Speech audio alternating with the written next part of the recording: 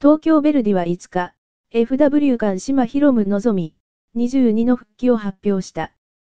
東京 V の下部組織で育った菅島は2013年にトップチーム昇格。2016年から専用に期限付き移籍で加わり、昨シーズンは明治安田生命 J にリーグ6試合に出場した。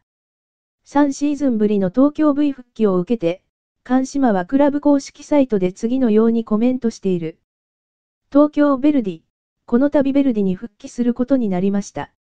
初めて外の世界を経験して少しは成長したと思いますので、成長した姿を見ていただけるように結果にこだわって頑張ります。応援よろしくお願いしますジェフユナイテッド専用。この度ベルディに戻ることになりました。なかなかチームに貢献できませんでしたが常に温かい声をかけていただいたサポーターの方々にはとても感謝しています。